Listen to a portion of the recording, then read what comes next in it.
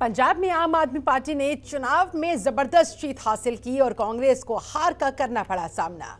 वहीं कांग्रेस की हार को लेकर नवजोत सिंह सिद्धू ने क्या कहा, सुनिए। सिद्धू का राष्ट्र धर्म पिछले सत्रह सालों से कभी डोला नहीं। किसी पद के आकर्षण में नहीं था।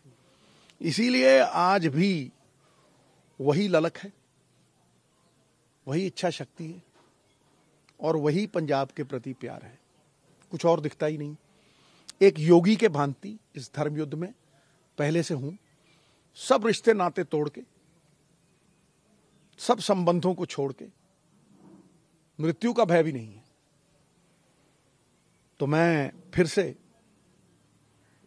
इस आस और विश्वास की, राजनीति की शुभकामनाएँ देता हूँ आम आदमी पार्टी को और उम्मीद करता हूँ कि वो खरे उतरे। जहाँ तक हमारी पार्टी का सवाल है यथार्थ के धरातल पे खड़े होके आत्म मंथन होना चाहिए। ये उम्मीद नहीं होनी चाहिए कि खेती सूख गई, अब बारिश हो। नए बीज बोने पड़ेंगे। आरंभ करना पड़ेगा, कहीं से शुरुआत करनी पड़ेगी।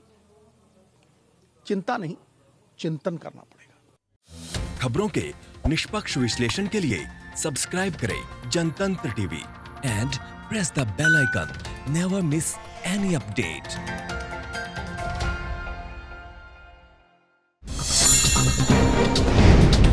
Download कीजिए जनतंत्र टीवी ऐप को, जो कि अवेलेबल है गूगल प्ले और ऐप स्टोर पर अधिक जानकारी के लिए अभी डाउनलोड करें